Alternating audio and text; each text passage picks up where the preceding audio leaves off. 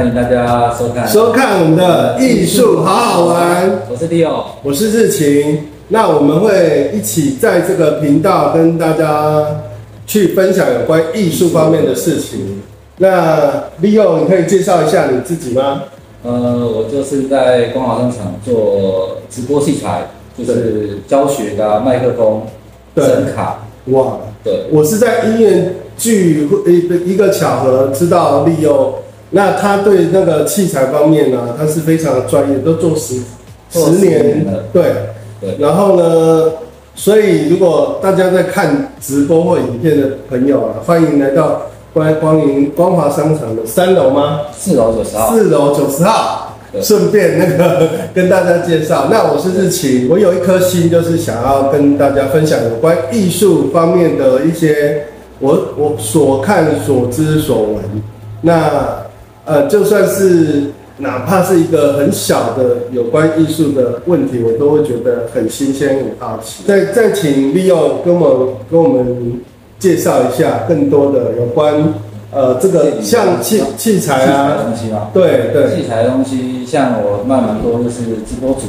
哦直播组那通常就是声卡、麦克风，对，声卡的麦克然后。灯也要，像我们刚才炒这个灯，对，这个灯，你看得到亮亮的，是因为有很厉害的灯，对，然后有些是做呃宅录的，录音乐的，录音乐。对，那个麦克风啊也是差蛮多。因为在在跟他购买这个器材的同时，就邀请 Leo 可以来玩玩看。那我训也练一下，对体验体会一下那个真正直播或者是在这个影片上面的一个呈现。因为我之前有主持广播节目，是跟艺术有关的，在真文系电台八九点九的日日情有约。因为我我待过纽约，在那边大概待了五年，就是去研究美国的有关艺术方面的，呃，这方面的一个文化，还有他艺术家啊、创造啊这这方面，所以我们就想说，哎、之后这个平台就是呃，可以把我们所知道的有关艺术的一个讯息，慢慢的跟大家分享。对，那在在在这个艺术上面，Leo 也是觉得很好奇，所以对艺术的东西的话，对，我们觉得介于完美不完美之间。嗯，就像有些画，它可能是大家可能觉得很漂亮，对那有些画就很抽象，比如说对毕卡索东西，可能随便画几个东西，对或是有个香蕉对粘上去，对它就变成一个艺术品。对对对，那这个东西，我想问我们的吴老师，嗯，就是艺术品的价值，它是以什么去判定？对，艺术品的它它有一种，每个人会对不同的艺术品有一种价值的判断。那可是呢，在市场上对于价格这件事情呢，它会在不同机构产生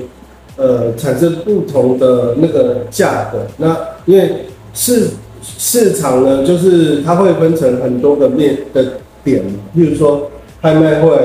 画廊也是一个市场。那譬如说朋友之间私底下对艺术品的一个买跟卖，这也是一个市场的一个部分。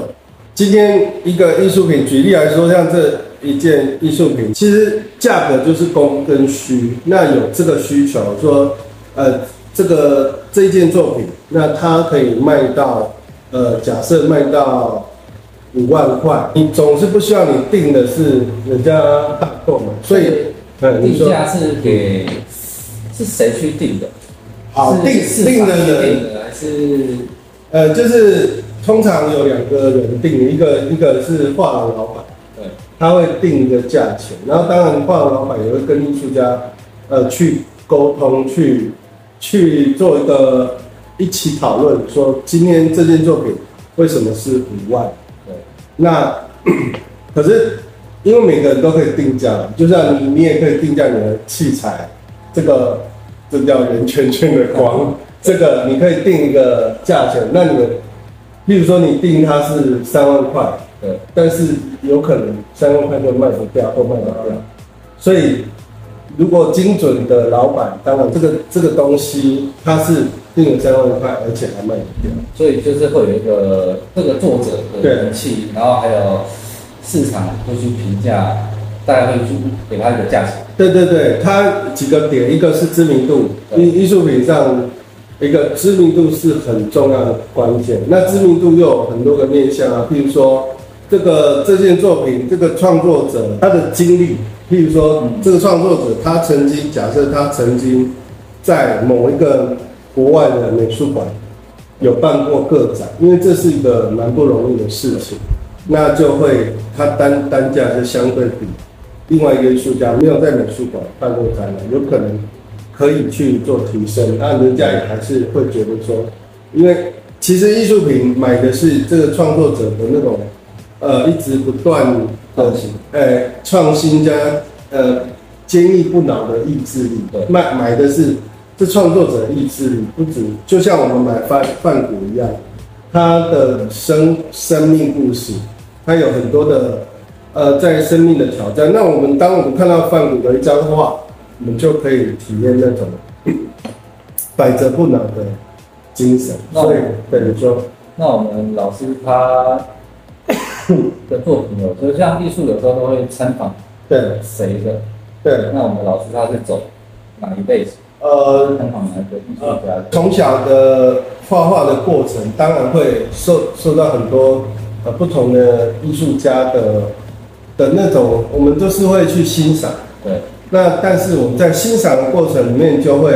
慢慢的去把真正属于自己的，就像一个歌手，那一开始可能会听周杰伦的，听某某的对，到最后他一定要有自己的唱腔，而不会说跟周杰伦一模一样。对，那如果一模一样，那就那就失去那个创作的就是一开始会有一个目标嘛，对比如说像嘻哈，对像流行歌手，对对啊，就是这个意思。对。一开始一定会有一些会影响到艺术家的，不管是形式或内内容。那影响到老师的是哦，影响到我当然是美国抽象表现主义，然后还有东方的书写、书法、书法、书法的那种笔画的线条的魅力，还有它的一次性，都是有影响到我。还有就是美国抽象表现主义，在比如说在画面上面的那种很奔放啊，可能有时候是低流啊，就是可以把内心的那种爱啊，内内心的那种激动，在那个作品上面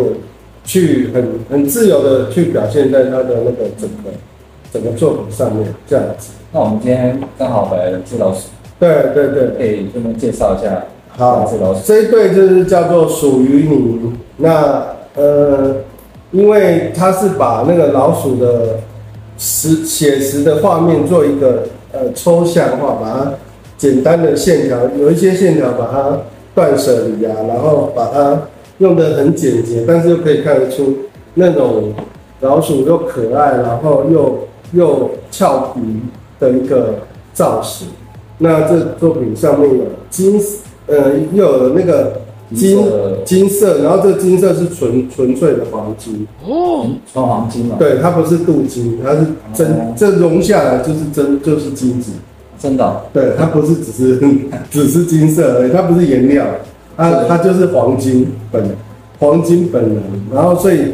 呃这画面这个是这有我的签名二呃二一庆二十一 C H 二十一就是二零二一年的作品，这上面还有就是眼睛吗？对，这这这边是眼睛，对。对，我这是注意到对下面还有个东西，这个是对下面有个小孔，对对 对是什么？透气。就是因为它在画面上会有各种不同的那种呃肌理，就是我们希望它有有一些是孔的造型啊，有一些是线条的造型啊，这样子。然后它有一些渐层啊，这也是二一年的，二一年的。哦，这就是签名这样子。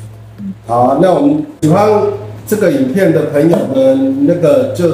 按赞、订阅，然后加小铃铛，然后就你就可以收到最好的通知。然后我们的节节目叫做艺术好好玩，所以我们就是来玩的，生命就是来玩的，艺术就是来玩的。介绍一些新的艺术。对对对，谢谢大家，谢谢大家拜拜。